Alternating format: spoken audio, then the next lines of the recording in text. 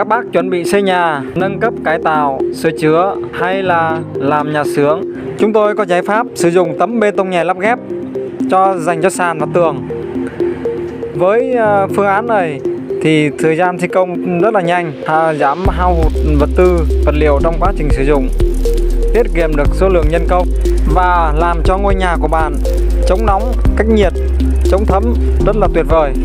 Với tấm sàn bê tông nhẹ, chúng ta có thể lắp ghép rất là dễ dàng, làm cho kết cấu nó nhẹ hơn, à, giảm áp lực lên à, móng, đặc biệt là đối với những cái nhà đã cũ mà chúng ta cần nâng tầng với bổ sung kết cấu thép và phương án này thì phù hợp cho các nhà phố, nhà ở trong ngõ nâng cấp lên với tiến độ rất là nhanh và dễ dàng. Kết hợp với đó là sự lựa chọn sử dụng những tấm tường bê tông nhẹ theo chiều dày khác nhau tùy thuộc vào yêu cầu mục đích sử dụng, cho từng bao hay là từng ngăn.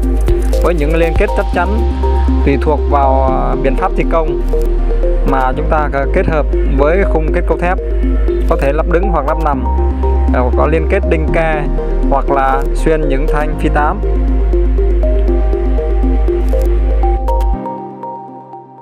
Sau đó xử lý mạch chống nứt chống thấm thì chúng ta sơn bá lại bình thường.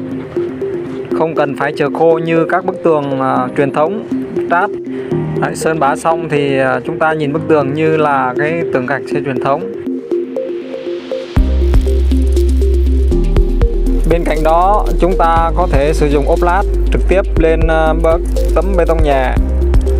Với sàn thì có thể đóng thạch cao hoặc là trần nhôm. À, để che những cái dầm thép, hoặc là để ừ, trực tiếp à, sơn bá, phun sơn vào thép tùy thuộc vào à, công năng cũng như là yêu cầu kỹ thuật của từng công trình. Đây, trong nhà vệ sinh có thể ốp trực tiếp, ốp lát trực tiếp lên. Đi điện nước bình thường. Đây là ngôi nhà đã được thiết kế, xây mới hoàn toàn bằng kết cấu thép và tấm bê tông nhẹ, lắp sàn và tường và hai tầng, một à, dạng thiết kế à, nhà vườn. Đây giữa phần thô và phần hoàn thiện như này. Thì tất cả những kiến trúc bất kỳ nào cũng có thể là sử dụng được hình thức bê tông nhẹ ghép lắp ghép, kết hợp với kết cấu thép hoặc kết cấu bê tông. Sau khi hoàn thiện xong thì đóng trần nhôm giá gỗ hoặc sơn bá, bình thường. Xin chào và hẹn gặp lại quý vị.